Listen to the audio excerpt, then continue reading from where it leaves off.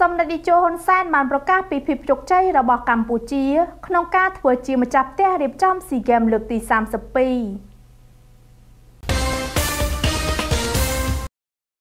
សម្ដេចនាយកហ៊ុនសែននាយករដ្ឋមន្ត្រីនៃកម្ពុជា ដែលពោពេញដោយទឹកមុខសបាយរីករាយចំពោះមុខប្រជាពលរដ្ឋប្រតិភូកីឡាករភ្ញៀវជាតិអន្តរជាតិរាប់ម៉ឺននាក់នោះបានប្រកាសពីភាពជោគជ័យរបស់កម្ពុជាក្នុងការធ្វើជាម្ចាស់ផ្ទះរៀបចំព្រឹត្តិការណ៍ស៊ីហ្គេមអាស៊ីអាគ្នេយ៍លើកទី32ឆ្នាំ2023នាឱកាសបិទព្រឹត្តិការណ៍ស៊ីហ្គេមលើកទី32នារាត្រីថ្ងៃទី17ខែឧសភាឆ្នាំ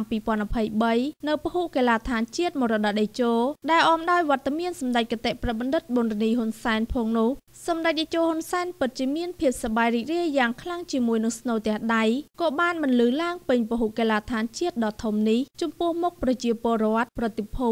កីឡាករភ្ញៀវជាតិអន្តរជាតិរាប់ម៉ឺននាក់នោះសម្ដេចតេជោបានថ្លែងយ៉ាងដូចនេះថាពីពេលចាប់ផ្ដើមរហូតដល់បិទបញ្ចប់នៅថ្ងៃនេះយើងបានធ្វើសម្រេចជោគជ័យហើយសម្ដេចតេជោបានថ្លែងអំណរអគុណចំពោះប្រជាពលរដ្ឋទូទាំងប្រទេសកម្ពុជា ដែលបានគ្រប់គ្រងព្រឹត្តិការណ៍ស៊ីហ្គេមនេះហើយឧទ្ទិសសមិទ្ធផលដែលសម្រេចបាននាពេលនេះជូនចំពោះប្រជាពលរដ្ឋគ្រប់និន្នាការនយោបាយគ្រប់ជាតិសាសន៍នៅទូទាំងប្រទេសនិងក្រៅប្រទេសសម្ដេចជោនាយករដ្ឋមន្ត្រីថែមទាំងថ្លែងអំណរអគុណ ចំពោះអ្នកស្ម័គ្រចិត្តទាំងអស់ដែលបានចូលរួមជួយរៀបចំបម្រើកិច្ចការនិងសម្របសម្រួលប្រកបដោយស្មារតីទទួលខុសត្រូវក្នុងឱកាសព្រឹត្តិការណ៍ស៊ីហ្គេមលើកទី32នេះសម្ដេចតេជោហ៊ុនសែនក៏បានថ្លែងអំណរអគុណនិងកោតសរសើរចំពោះសម្ដេចសេនាបតីទាបាញ់ឧបនាយករដ្ឋមន្ត្រី និងជាប្រធានគណៈកម្មការរៀបចំការប្រកួតកីឡាអាស៊ីអាគ្នេយ៍ដោយស្មោះអស់ពីដួងចិត្តព្រមទាំងថ្លែងអំណរអគុណចំពោះឯកឧត្តមថោងខុនប្រធានគណៈកម្មាធិការជាតិរៀបចំអូឡ িম্প ិកកម្ពុជានិងជាអនុប្រធានអចិន្ត្រៃយ៍គណៈកម្មការជាតិខេមសក់ក៏ដូចជាថ្នាក់ដឹកនាំកងកម្លាំងសមត្ថកិច្ចដែលបានរួមគ្នាខិតខំបំពេញបេសកកម្មតាំងពីមុនពេលចាប់ផ្ដើមពេលចាប់ផ្ដើមរហូតដល់ពេលបិទបញ្ចប់ព្រឹត្តិការណ៍ប្រមុខរាជរដ្ឋាភិបាលបានចាត់ទុកថ្នាក់ដឹកនាំខេមសក់កម្លាំងសមត្ថកិច្ចអ្នកស្ម័គ្រចិត្តនិងអ្នកពាក់ព័ន្ធដទៃទៀតសុទ្ធតែជាប្រតិបត្តិការដ៏មានឆន្ទៈក្នុងការចូលរួមលើកស្ទួយមុខមាត់ប្រទេសកម្ពុជា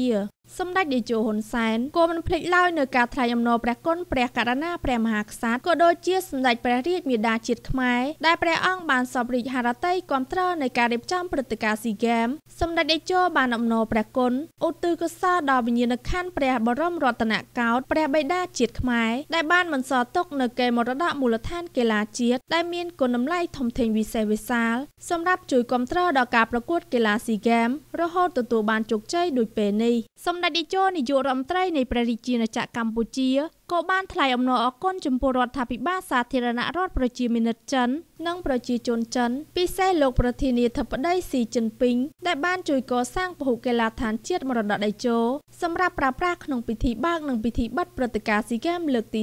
32ការប្រកួតកីឡាតាមវិញ្ញាសាមួយចំនួននិងសម្រាប់ការប្រើប្រាស់ក្នុងព្រឹត្តិការណ៍នៅពេលក្រោយៗទៀតគួរជម្រាបថាព្រឹត្តិការណ៍កីឡាស៊ីហ្គេមលើកទី32នៅប្រទេសកម្ពុជាចាប់ពីថ្ងៃទី5ខែឧសភារហូតមកដល់ថ្ងៃទី17ខែឧសភាឆ្នាំ2023ទទួលបានការអបអរសាទរយ៉ាងត្រចះត្រចង់គ្រប់មជ្ឈដ្ឋានជាតិនិងអន្តរជាតិគ្រប់គ្នាកាន់តែយល់ច្បាស់ពីគុណតម្លៃនៃសន្តិភាពសមដោយពាក្យស្លោកដែលបានរំលេចថាកីឡារស់ក្នុងសន្តិភាព